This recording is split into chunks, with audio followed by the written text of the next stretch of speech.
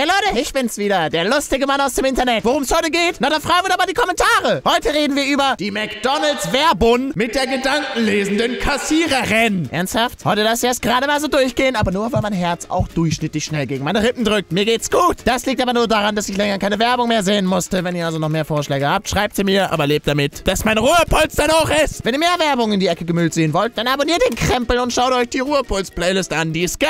Eins meiner Lieblingsvideos ist das über die McDonalds ASMR-Werbung. Ihr merkt also, wir haben schon ein paar Mal über die Fastfood-Kette in diesem Format geredet. Als letztes über die Anti-Plastik-Werbung und heute eben über die Gedankenleserin. Also haltet euch fest, trinkt höchstens aus einer Schnabeltasse und genießt die Show. Es wird magisch. Ich muss übrigens andere Musik benutzen, weil die GEMA McDonalds mag, aber mich nicht.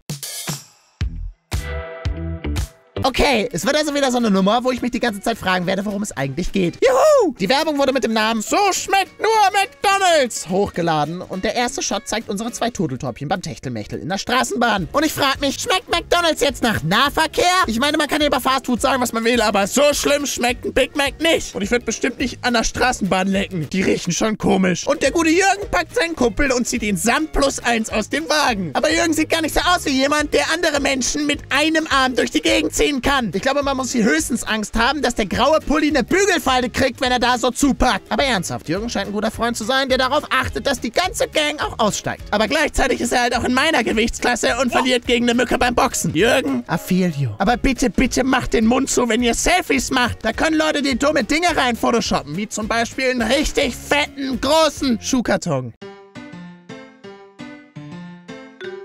His name is Jürgen. And welcome to Jackass! Der arme Jürgen ist übrigens das fünfte Rad am Wagen. Unsere zwei Turteltäubchen sind nämlich vor allem mit sich beschäftigt und auch die zwei Damen sind nur unter sich. Jürgen, es tut mir leid, okay? Du bist heute das Reserverad im Kofferraum. Aber wenigstens bist du nicht der Verbandskasten oder das Warndreieck. Der Typ mit der roten Jacke gehört übrigens nicht zur Clique. Ich habe nachgeguckt. Und vielleicht ist er einfach random passant durchs Beet gelaufen. Jürgen hätte einen Freund haben können. Aber McDonalds hat gesagt, nein. Jürgen, du bist heute traurig.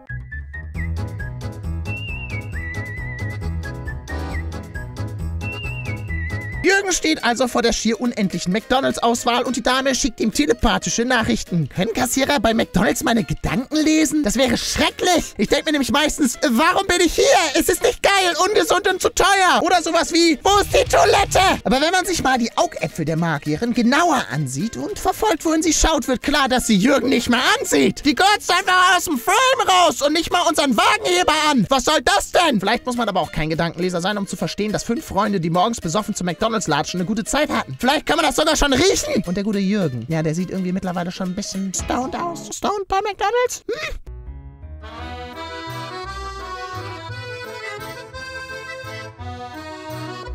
Bin ja kein Profi in Gebärdensprache. Ich bin ja schon froh, dass ich unser Alphabet lesen kann. Aber ich bin mir vor dem Herrn Gott persönlich sicher, dass das nicht bedeutet, für mich ohne Gurken bitte. Und wenn es das bedeutet, muss man dabei immer mit seiner Freundin rummachen? Stellt euch vor, die ist gar nicht da. Wie sagt ihr das dann? Dann könnt ihr bei McDonalds nicht bestellen. Und ist das gleichzeitig eine Aussage über die eigene Sexualität? Ich meine, ich fände okay, wenn er Gurken will, aber ich verstehe nicht, warum man gerade diese Szene für diese Aussage benutzt. Liebes McDonalds Werbeteam, wir sind hier im Internet. Gebt den Trollen keine Burger ohne Gurken. Die Kassiererin denkt ja auch nur, klar, ich verstehe total, was die fünf Fragen Fragezeichen hier gerade von mir wollen. Jürgens Oh Yes finde ich ja noch eindeutig. Da kann man sogar ein neues Meme-Format draus machen. Bock auf den neuen Teil von Zelda? Oh Yes.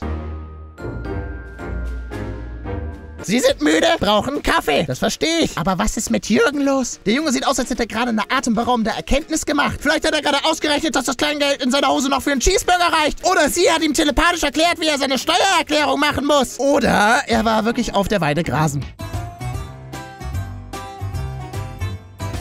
Leute, beachtet die Sitzreihenfolge. Beate und Uwe sitzen nebeneinander, aber Jürgen hat sich in die Mitte von Victoria und Secret gequetscht. Das ist seine Chance zu socialisen. Los, Jürgen, du kannst alles schaffen.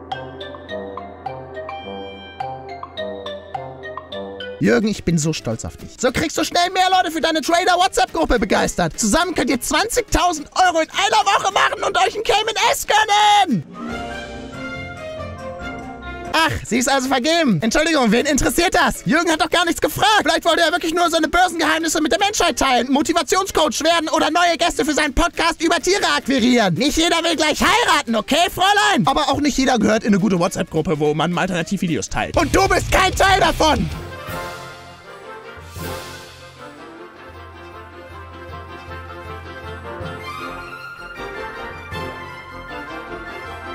Worüber haben die beiden gerade stumm geredet. Vielleicht wollte Jürgen ja nur mal kurz ein paar freundschaftliche Komplimente über ihre Locken locker machen und nicht direkt um sein Leben flirten. Oder er wollte nur einen Schluck Cola. Oder dass du endlich dein dummes Smartphone runterlegst und anfängst, statt die ganze Zeit auf dem Bildschirm auch mal auf deine Gang zu glotzen. Die Familie braucht dich. Dann wiederum, vielleicht ist sie ja gerade in der WhatsApp-Gruppe und kriegt neue Tipps, wie man einfach und schnell super reich wird. Oder sie googelt mal alternativ. In dem Fall weitermachen. Ich bin stolz. Oder sie war einfach nur eine schlechte Freundin bei McDonalds. Jetzt mal ehrlich. Jürgen ist hier der einzig Normale. Die zwei drehen fast ein Bumsfilmchen in der S-Bahn, die anderen schlafen bei McDonalds ein und die Kassierer denken, sie könnten über ihre Geisteskraft mit Menschen reden. Wenn irgendwann bei McDonalds jemand auf mich zukommt und mir meine Bestellung gibt, ohne dass ich sie irgendwo aufgegeben habe, prelle ich die Zeche aber schneller, als sie Fastfood denken können. Und was genau liebt ihr? Dass die Menschen nicht mehr miteinander reden.